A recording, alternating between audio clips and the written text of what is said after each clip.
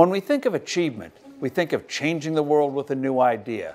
But innovation doesn't always mean an entirely new product. That was true of Ruth Handler, the inventor of Barbie.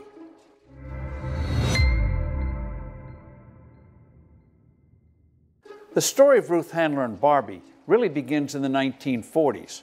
Ruth and her husband Elliot started a plastics business making picture frames and clocks from a new material called lucite. They named the business Mattel, a combination of Ruth's husband's name and the name of their then partner. Ruth and her husband became fascinated by the toy business.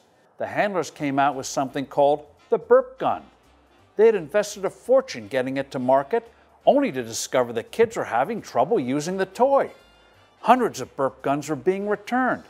Desperate to save their business, they literally bet their company on a new advertising medium, television plunking down $500,000 to sponsor a new Disney program called the Mickey Mouse Club. And they would reach not parents, but kids.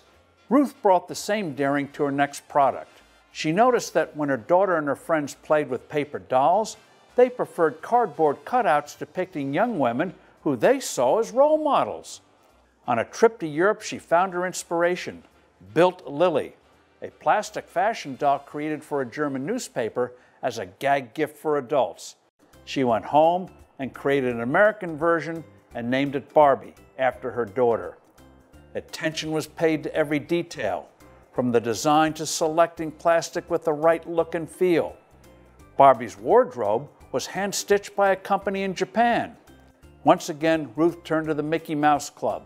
Sales took off, $350,000 were sold in the first year. The company followed up with countless accessories. A male doll, Ken, was named for Ruth's son. Mattel went public in 1960 and swiftly became an industry giant. It entered a new phase.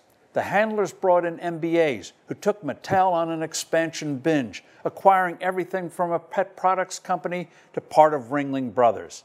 Soon there was trouble. The Handlers were accused of covering up company losses.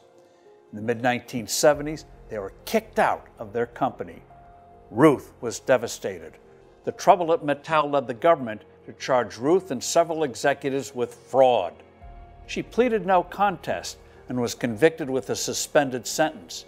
She had avoided jail but was now a convicted felon.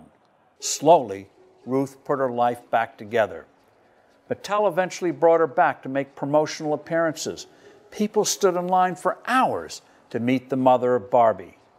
By the time she died at the age of 85 in 2002, she was once more admired as a feminist pioneer and business icon. The company she co founded, Mattel, today employs 31,000 people, and more than 1 billion Barbie dolls have been sold. Ruth Handler's achievement is a powerful lesson about wealth creation.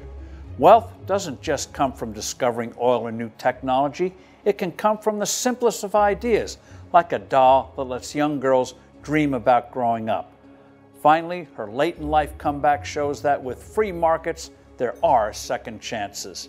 I'm Steve Forbes.